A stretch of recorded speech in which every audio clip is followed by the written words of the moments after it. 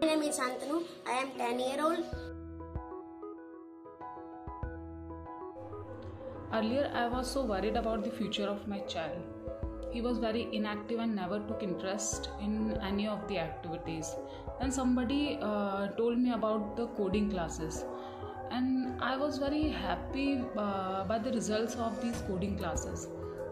Now uh, he started learning new things, and uh, mostly he is engaged in um doing some projects Basically, I have developed a prototype or a model. Uh, in this project, I have attached a buzzer and a LCD screen also. I'm very uh, impressed by the staff also.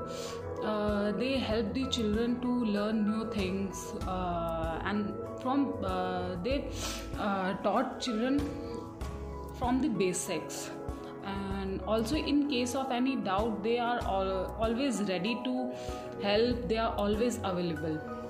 Now i am very sure about the future of my children. I can assume he will have a bright future.